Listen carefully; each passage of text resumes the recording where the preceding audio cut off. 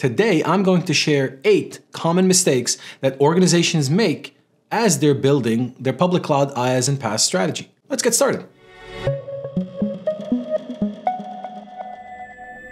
Welcome back to Pluralsight's Head in the Cloud, everyone. My name's Elias Khnaser, and today's question is What are the common mistakes that organizations make when they're building their public cloud IaaS and PaaS strategy? Now, if this is the type of content that you like, make sure you like, subscribe, hit that notification bell so that you're alerted the next time we upload a video. And don't forget to check out Pluralsight's library of IT courses. There's a ton of courses on cloud strategy, on cloud implementation, on cloud provider certifications, and a ton of other tech related courses that you or a member of your team can benefit from, especially if your organization is going through an upskilling project. Common mistake number one building a document that is geared more towards IT rather than the business. You've heard me say it in the first two episodes a lot about how to design a document that is geared more towards the business as opposed to IT. If you haven't seen the first two episodes, we're going to make sure that there's links to them in the description and probably somewhere up here as well. There are no IT projects. There are only business projects and business outcomes. The sooner IT comes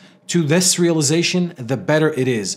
Don't write an IT related document write a business document that an executive can understand and can value. If IT is leading cloud, you're going to start having conversations on cost and obsessing about costs and complexities. And you're going to trade one hosting and virtualization platform for another hosting and virtualization platform. And the business is going to take a step back and say, why is this costing me so much money? Or why did you do this? Or who told you to do this? So again, don't write a document that is geared towards IT. Common mistake number two, writing a very long document. Now, typically when documents are very long, that's because again, you've written an IT specific document. But just in case you wrote a very long business specific document, remember your executives, I, you know, your business leaders, their attention span is very, very short. If you go and write a 20 page document, I can guarantee you no one's going to read it. So make sure your cloud strategy is between five to seven pages. And make sure that your cloud strategy document always has a companion PowerPoint presentation that you can present to executives anytime that you need to. Common mistake number three not circulating the document. We're never going to get full consensus over everything that we put in our cloud strategy. People are always going to have different opinions. But it is important to circulate the document, to gather all of the information, to gather, gather all of the viewpoints. Oftentimes, you're going to find there's very, very good advice out there from people that you least expected to get it from. So make sure that the document is well circulated so that when the business asks if there's buy in from all the different stakeholders, you have a very solid argument to make at that point. Common mistake number four not appointing someone that is responsible for driving this project. So oftentimes I've seen cloud projects that are trying to be designed or documented or built by committee. You know, there's more than one person that's involved, they're not on the same page. That is a big mistake. Remember the trinity that we talked about in the first episode. In order to build your cloud strategy, you need to have your CIO, your cloud architect, your business architect, your enterprise architect, and your business sponsor. Your cloud architect is the person that's going to drive the project. That is the person that's responsible. That is the person that the CIO is going to hold accountable for the lack of progress or maybe for the incredible success of the project and give them kudos. But you have one person that is responsible to lead this project, to coordinate everything, and to document. Common mistake number five not having business sponsorship. It's crucial to have buy in from the business when you're developing the strategy. The last thing that you want to do is build a cloud strategy, spend all of this money, and then someone says, Who told you to do that? Or what is the benefit of that? Or why are we even doing that? So we want to do two things here. We want to be able to tell them how great cloud is, right? But we want them to tell us how we can then leverage it. That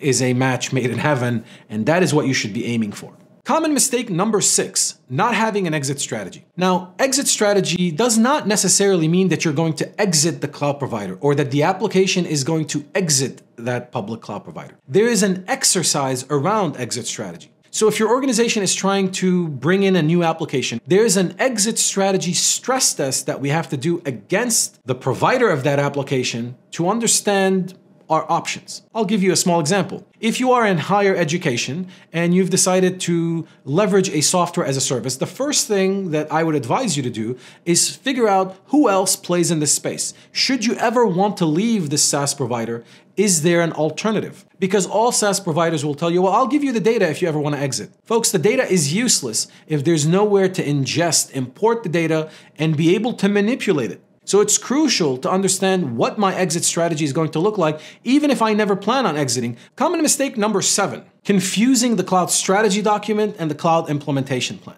The cloud strategy document is a business document. The cloud implementation plan is an IT document that will focus on things like frameworks, like best practices, like the schedules, like uh, the, the steps that things need to be moved in, etc.